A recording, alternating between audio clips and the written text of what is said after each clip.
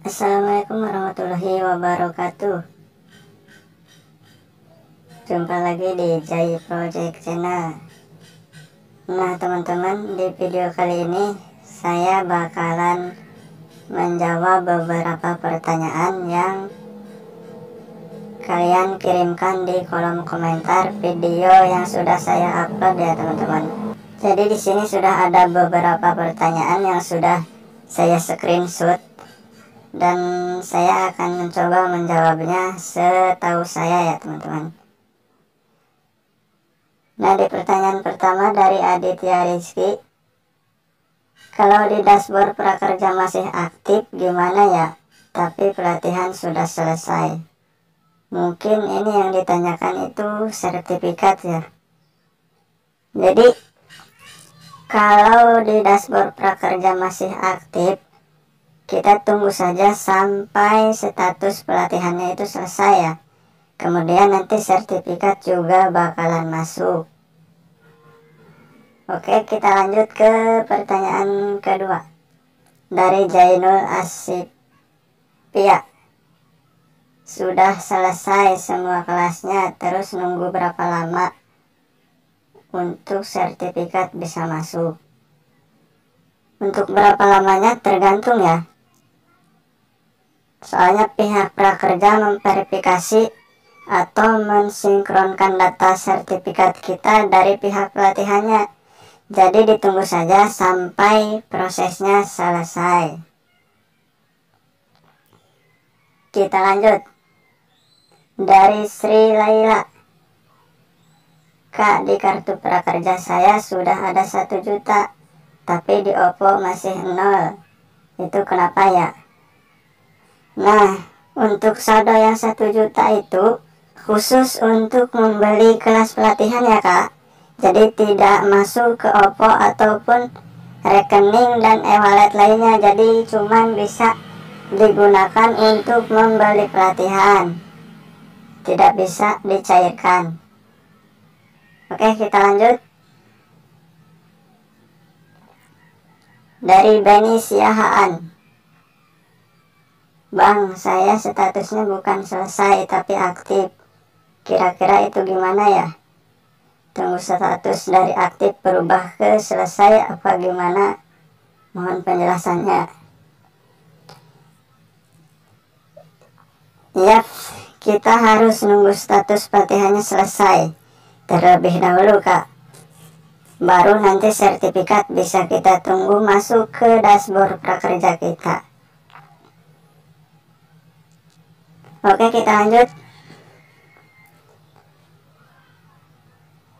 Bang saya punya rekeningnya hanya BRI Bisa minta solusinya. Solusinya yaitu bikin e-wallet aja bang. Mudah kok tinggal download aplikasi e-walletnya. E-wallet apa yang kita mau digunakan ya. Jadi kalau BRI tidak bisa diinput ya teman-teman Bisanya hanya memakai rekening BNI dan e-wallet. Yuk kita lanjut. Dari Siti Sarah. Kak, aku udah ikut pelatihan. Udah lulus, exam. Juga sertifikat udah muncul semua. Tapi di dashboardnya belum muncul sertifikatnya. Itu kenapa ya?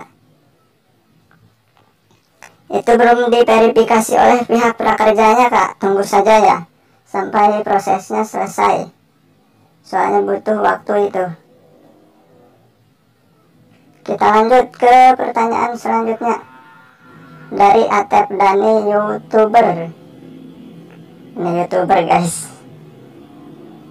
Mas kalau di rekening ada saldonya kira-kira dijamin aman nggak? Saya rasa sih aman ya. Soalnya kan rekening tersebut fungsinya cuma untuk menerima insentif bukan untuk membeli pelatihan. Jadi untuk membeli pelatihan itu cuma menggunakan saldo pelatihan ya. Nggak memakai saldo dari rekening kita.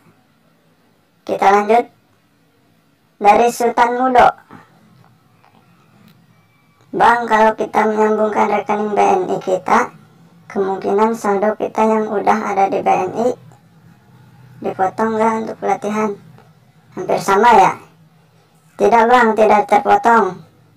Aman kok. Oke lanjut. Dari Dewi Prameswari. Bang, saya kan pilih pelatihan di Skill Academy. Ya, saya beli pelatihannya yang satu paket. Ada enam kelas. Saya baru menyelesaikan dua kelas. Apa bisa dapat insentifnya?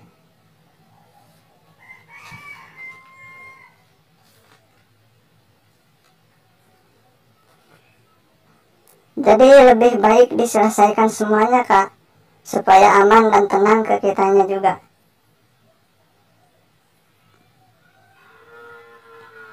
Untuk dapat insentif itu sebenarnya cukup satu kelas ya Cukup satu sertifikat. Tapi untuk lebih amannya mendingan kita selesaikan semuanya saja. Biar enggak ada kendala lagi Oke kita lanjut lagi. Dari Yusuf Asrori. Kak mau tanya misal kita udah beres Pelatihan sama udah lulus semua examnya Supaya sertifikatnya muncul di dashboard Apakah kita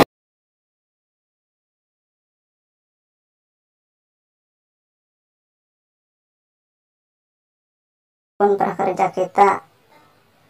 Ya setelah proses 3-7 hari yang tadi kakak jelasin. Otomatis kan jadi kita tidak usah mengunduh ataupun melakukan apa-apa. Jadi kita tinggal nunggu saja sertifikatnya masuk ke dashboard prakerja kita. Itu otomatis diverifikasi oleh pihak prakerjanya kita lanjut ke pertanyaan berikutnya dari channelku. Kalau beli satu paket kas akademi bisa dapat insentif langsung kak. Insentif perlu diproses lagi oleh pihak prakerjanya kak. Jadi nggak bisa langsung cair begitu saja. Kita harus nunggu ya, nunggu proses demi prosesnya. Jadi nggak bisa begitu kita selesai apa kelas langsung bisa cair. Intinya harus nunggu pokoknya. Oke kita lanjut lagi. Dari Nurijal Ardani. Bang kok saya udah masukin rekening bank BNI tetap nggak tersambung ya? Coba bisa diulangi lagi kalau disambungkan kembali jadi kemungkinan itu ada error atau gimana ada kendala lain. Kalau memang tidak memungkinkan dan masih tidak bisa terhubung saran saya bisa menggunakan e-wallet saja. Jadi kita lebih mudah lagi untuk menginputnya. Oke lanjut ke pertanyaan terakhir ya teman-teman. Di sini ada dari Yuga Prasetya kalau dari rekening e-wallet link aja mau dipindahin ke Oppo bisa nda ya? Ya kayaknya bisa sih bang.